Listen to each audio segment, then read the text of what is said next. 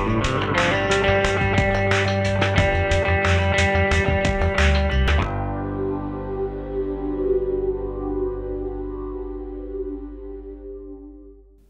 is my question, and these are my institution.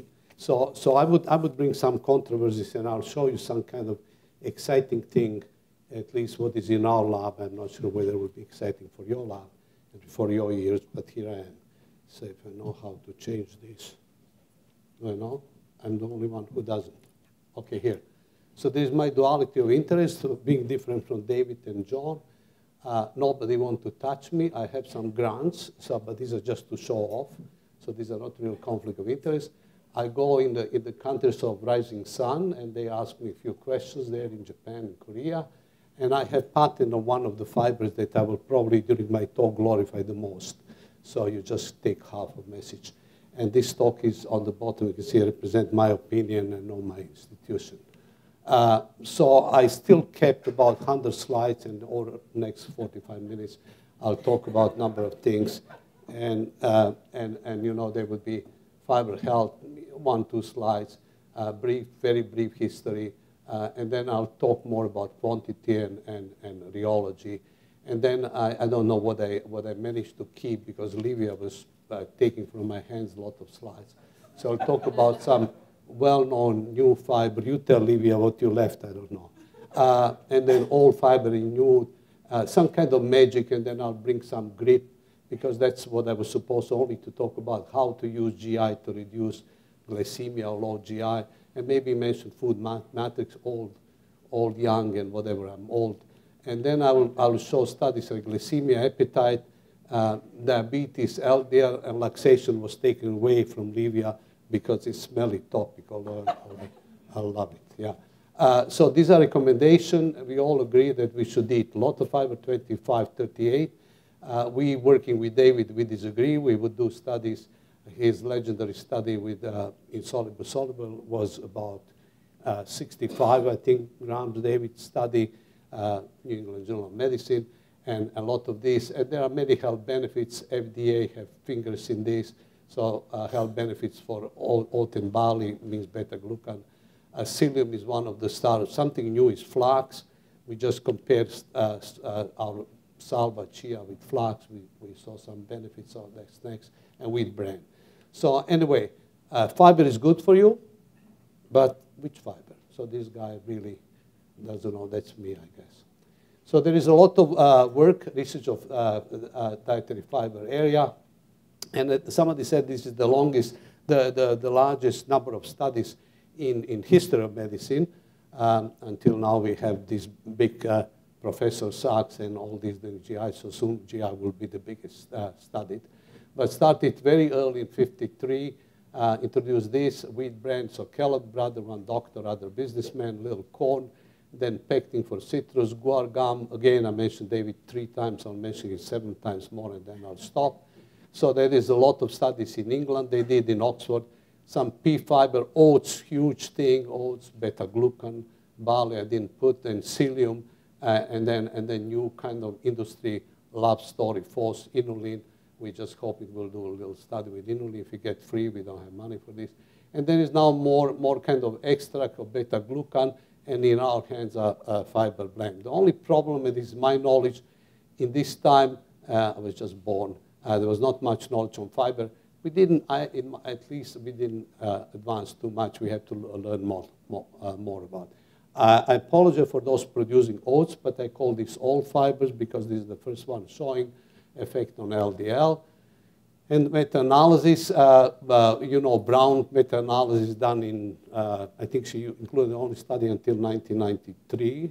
And these are 10 sitting there, my student we did meta-analysis, uh, putting all, all new studies here. You can't read, I cannot read, but these are all updated just from last week, 2015. Unpublished, you will find the 4 grams of beta-glucan reduced LDL for glorious 0.1. It is ironic, you hear my change in my voice. In normal uh, uh, cholesterolemic, when we did in hyper, uh, hypercholesterol, high cholesterol was a little better 0.2. So this is this is good for, uh, for government and for reducing cardiovascular disease. I'm not sure whether it's good for individual. Um, so I have to mention Solidarity. Tom, I didn't kick out your slide, glorious study with Jenny and other uh, big laboratories where they, they studied 370 people, put them in five groups, control, and four viscosity levels. Two, uh, these are molecular weight, these are viscosity indication, 2 million A50. I think 2 million is oat uh, when you bring from the field, not from Canada, because they say field, field if it's cold, they don't produce good oats and not high viscosity. So southern border, I guess. Um, 850, 530, and this is the outcome. He found all the kind of uh, correlation and reduction in LDL uh, with this, uh, only low viscosity. Uh, these are the same quantity. Actually, was four, three grams. Uh, you can see on, on the side uh, found reduction. In conclusion, that the LDL is functional molecular weight of viscosity. So I believe I agree with him. Uh, uh, this is when it's in hands of Tom and, and Jenny and other. But when you look at some of the studies we selected earlier, when we start looking to these studies, they are comparable in design, very similar, a similar number of people at, at the time in, in pretty good journals. You can see different quantity of, uh, beta-glucan. And you would think that if you give more beta-glucan, reduction of LDL will be, will be higher. However, that was not the case. When, it, when they give 6 grams or 3 grams, there was significant reduction. When they did 10, 10 grams, wasn't significant uh, uh, uh, reduction. So at the time, that was many years ago, we start to believe that it's all not only quantity, but it's also rheological properties, viscosity, molecular weight, solubility in small intestine. Uh, hydration time, we'll look at gel and all these, get a molecule, particle size. Olivia is working on one project with us on particle size, etc. So we start believing that these are very important. Uh, one of the legendary study, uh, this is again David Jenkins, number five, I think I mentioned David. Uh, you can see there he studied he studied six fiber guar, guar uh, pectin, um, methylcellulose, bran, and, and, and some drug. And upper panel, you will have always blood glucose and lower insulin. And, and he measured viscosity. That was very early. One of the, I must give credit, if I may, in 1978 when, when they look, uh, British Medical Journal, they look at viscosity because a lot of research is done by fiber, but they neglected the basic principle of polysaccharide, which is rheology, and he didn't, and that's wonderful. That's legendary study, if I may call. Uh, and then another legendary, Peter Wood. We always mention Peter Wood, where he would give oat beta-glucan, 2 grams, 3, 6, 7, 14, and he would say, uh, uh, find correlation between log viscosity, glucose peak lowering. You can't, and not to mention this study, great study. Tom also was working with him. Uh, so I'll show you now our, our legendary study in our group. Nobody cared, but I'll show you some magic. So what we did, we used very simple Brookfield uh, viscometer here, few Shearer rate, etc. And then, then we said how much of the, of the fiber we will need to put to have the same viscosity level. So we would need to put, and I'll tell you more about viscous fiber blend, which is konjac xanthan in this case. We needed two grams to have the same viscosity. This is showing blood glucose. 3.5 grams xanthan gum and about 6 grams psyllium to match viscosity in vitro. When we did postprandial glycemia, you can see, you can really see how in 12 people, area under the curve incremental uh, match uh, around 110 area under the curve, uh, which is in our, our way, uh, we think that's how we kind of proving the viscosity is important, but you need different quantity of, uh, in this case, different fiber. Uh, some, some old new fibers that people, people start uh, doing concentrated beta-glucan more and more. We uh, did study uh, with new technology. They, they use uh, water to remove starch, a fiber called viscofiber. So what's the problem with, with beta-glucan and eating oats is that if you want to reduce LDL, you would need to eat oat bran. You will need 30 grams. That's about three bowls and, and it's two grams. If you want to do more, six, you need more. For four grams, you need more oatmeal because people eat oatmeal. They don't eat oat bran so much.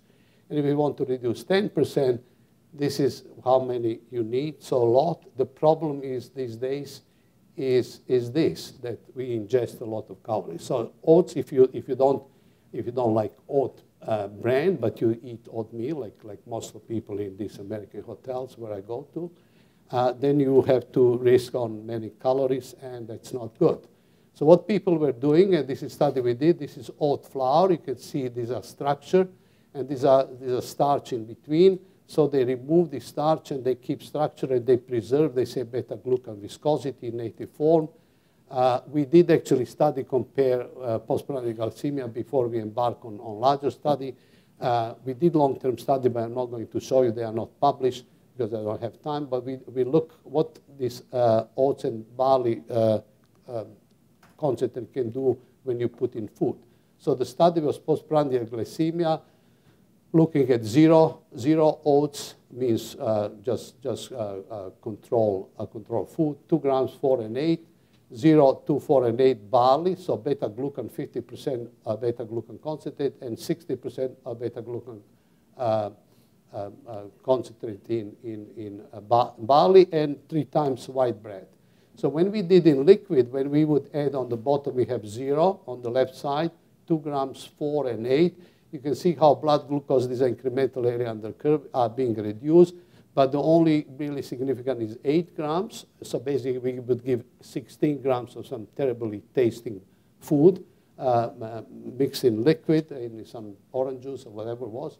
And that was significant. When we, we did barley, barley did less, reduced postprandial glycemia less. So it was not bad. In liquid was good. When we put in bars, you can see on the right side, this is white bread. We did white bread just I don't know, we, we just did it. Actually, this is amino white bread.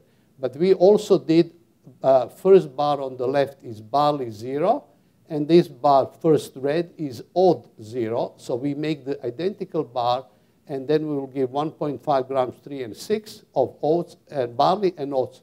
And you can see there is no effect whatsoever when you compare to control bar. Most of the people will do kind of white bread and will make bar, and then we say, you see how it's working, but it's other ingredient. So that's, that's not uh, very good. So how one can uh, make uh, one gram more, I'll show you some magic. Actually, I'll show you two magic that we do in, in lab with fiber. One is how to maximize effect of, of psyllium, and then I'll introduce viscous fiber blend that we worked for last 10, 15 years. So the psyllium story is that one of the, a large company came to us and say, well, we put psyllium in bars, so when psyllium became popular 10 years ago, whenever, uh, uh, we put in the bar. Bar is wonderful for a week, but after one, two, three, four weeks, shelf life, you need uh, long shelf life in order to put on market, then become drying and they become terrible. So we thought uh, that maybe coils, if you imagine fiber as a, as a coils, polysaccharide coils are not completely released. And then, and then when product is made, there is some still moisture, then these coils still continue being, being released and they, they capture moisture and make product dry. So what we did, uh, we actually, I'll explain to you, these are gain area of the curve. In interest of time, I don't have much time. So these are zero psyllium, these are two glucose drinks. And then we'll, uh, dark bar at three grams, just we mix in the, in the glucose drink psyllium three grams. 6 grams psyllium, and 9 grams. So the more psyllium we add, the better. And then we did what I, what I exaggerate over a little magic. We would uh, actually cook, uh, uh, cook basically uh, psyllium in the, in the glucose drink, use uh, some mechanical energy and aeration, and you can see that basically treated the same quantities lower, lower, lower, and we concluded that basically 3 grams of untreated, uh, treated psyllium have effect of 9 gram untreated psyllium. So you can actually pump up psyllium, but you don't know how to do, I mean, uh, practical. And we found correlation with 25 and 50 grams glucose. We did uh, both. We found correlation with log viscosity, actually firmness. The problem is it's not practical. So these are good findings, but lacking practical application unless you eat and then, and then you are being cooked. So basically, another, another kind of induced viscosity. Induced means that, that uh, we try to produce viscosity which is higher than uh, natural material. So another one is this, when we mix complementary fiber, konjac, xanthan, gum, they mix uh, side bonds. We started this study looking at the different in vitro viscosity measurement using Brookfield simple method. And we will use kappa carrageenan, psyllium, xanthan, guar, gum, konjac, that uh, our group is very keen, and then we'll use konjac to blend with some other fiber, in this case with xanthan, this uh, and this is level of in vitro viscosity of one gram of this material. You can see when you, when you mix uh, uh, konjac and xanthan, you can actually almost double, double viscosity. When we look in vitro, we actually found that this uh, is replicated. These are konjac viscous fiber blend. You have the lowest postprandial glycemia, which uh, we then use in many other studies. So what is happening? Fiber, uh, in this case, this blend, this hygroscopic goes in the stomach or liquid, and then rupture at certain point of time, release these coils, and in this case, we, we use three, three ones. Uh, Jenny actually uh, studied PGX, that's kind of PGX concept that they was taken from us, I'll tell you in a minute. And these are three fibers. And what is actually happening is that these three fibers actually eventually gastrointestinal tract also is, is uh, linked with the side bones and capture actually nutrients and, and slow absorption in small intestine. So uh, then we compare this uh, viscous fiber blend, PGX is commercial name, and oat beta glucan in, in one of the studies. Actually, that was done by Alexandra Jenkins, who published this uh, 10 years ago or something more, where, where she introduced concept of grip. So she looked at number of studies. I'm sorry for this small letter, but there's a number of studies, how much they reduce by adding certain quantity of beta-glucan. And, they, and, and she found that per gram of uh, beta-glucan, glycemic, glycemic index will be reduced for about four units.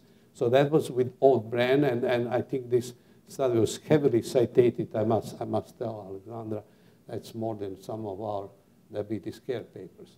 Then, then she did one in glycemic index laboratory study where she incorporated, again, five grams of viscous fiber blend. Question is how much this will uh, affect. You can see cornflakes reduce about, I can't read, 30, 40%, and then rice uh, high, and then TV dinner, and yogurt, so the, the, the, the, lower glycemic index, the less effect, but it's always effect by adding, you can reduce uh, postprandial glycemia or actually glycemic index. And then she came up with this GRIP, so glycemic index reduction potential, I think we call this, uh, concept where she showed that beta-glucan reduced postprandial glycemia for four units and one gram of uh, viscous fiber blend for seven, so it's more powerful, more viscous. We did a couple of studies in, uh, with konjac fiber blend. Furio Brighenti was with us, he brought us to Italy uh, with Maurizio Acri, you remember Furio, who did wonderful cookies, biscuits for us. And we did again study uh, with biscuits and found that glycemic index of biscuits was um, in, in uh, normal was, was something like 25 in diabetic, 35 with 10 grams of fiber, which is incredible on, on white bread scale. And based on this, we calculated actually how much, how many cookies we'll need to know and just as, as Frank Sacks did study, we managed to, in different way, with adding these biscuits with konjac blend, we, uh, we had difference in GI of 23 units, and we knew we are going to get, once you have about 20, I think you're in business. So we did this study, we actually did two studies, one in diabetic, one in metabolic syndrome, and you get in lipids, I'm showing only lipids, glucose was also good, uh, showing cholesterol red, this is uh, fiber blend, this is wheat bran, match fiber, obviously is more study, LDLs, uh, LDLs reduced. But this reduction is beyond medication. So people were, uh, where David, remembered, that was his patient, were on, on uh, lovastatin, I think, at the time, uh, early, early. Uh, so reduction was about, uh, about 17% or something over control, something like huge, huge reduction beyond medication we kept on. And then also, uh, I think ApoB and, and so particular. We compared them with, uh, with uh, Brown from Harvard, uh, her meta-analysis, psyllium, oats, guar gum, pectin, and this konjac blend, you can see reduction per gram was the highest with konjac blend with other. So telling about viscosity with the same quantity. This is again Furio Brighenti is there smiling. This is first functional food in Europe, if I may call, about 100 years ago when they used our, our findings. And these cookies are still sold in Italy uh, by Dicofarm, uh, as, and, and it costs probably 10, 15 euros, 10 cookies, and people buy all the time. Uh, PGX is also a big seller in Canada, US. Costco sold 20 million bottles in 2011. And you see this little bag. So I, maybe uh, next week in court, they took this patent from me. That's my patent. I never got one penny. Uh, and, and, they say, if you have money, sue us. I don't have money. unless they pay me, you will pay me for lecture, I hope, no? So I may have money. Uh, so basically, that's, that's wonderful people buying for weight loss or something, I don't know what, but I have a pattern. That's me eating fiber, being constipated. Uh, uh, I, don't, I don't show relaxation. So we did also appetite study. That's interesting also to see viscosity. So we had three, three drinks as a, as a preload. You know how you do uh, appetite study. Konjac blend. This is our Konjac xanthan. Konjac alone, the same, but the same quantity, the same Konjac glucomannan, Japanese uh, root. And cellulose, the same quantity of this low, high, medium viscosity. When we measure viscosity, you can see three level, one down, middle, and the viscosity on the top. And findings are that they eat uh, uh, uh, ad libitum pizza more um, between cellulose and blend, but not konjac. So that's kind of, and they make big deal, this good-looking woman there, and uh, ugly man here, and they sell this uh, big way. So then we did, and this is one of the last, Olivia, can I show the last 37 slides? Uh, so basically, uh, we, did, we did low, high, medium on lipid lowering long-term study, uh, and we uh, have 24 people cross over normolipidemic, give them typical North American diet, 35 grams of fat or more, three arms, three weeks crossover, and we'll give them uh, low viscous wheat bran. We, we kind of cheating this wheat bran, probably have little viscosity, 15 grams, medium viscosity psyllium 15 in breakfast cereals, and, and konjac blend 15. These are the results. Uh, this panel on the left is total cholesterol, mid, uh, middle is uh, total to uh, HDL ratio. At the time, we that was popular ratio. Uh, and this was also ratio. It looks the same. I don't know. I can't see this. But you can see that basically low viscosity bran that they managed to eat 14 grams, didn't do much. Psyllium, which everybody claimed, including FDA, that does miracles, didn't do in three weeks, uh, went down and went up. Uh, and then and then viscous fiber they couldn't eat was too viscous, so they eat six grams, but managed to reduce total cholesterol and LDL pretty well. So the same quantity, just uh, different viscosity. So fiber and health, yes, to explore. Everything is relative. One guy said before, uh, I don't know for fiber or something else. Uh, uh, you know, this is the most popular uh, photography in the history of, of, of photography. They're all eating fiber. You see, number of hours that we study so that's good. So we will increase consumption of fiber. And this is my high fiber group research team. And, and thank you very much.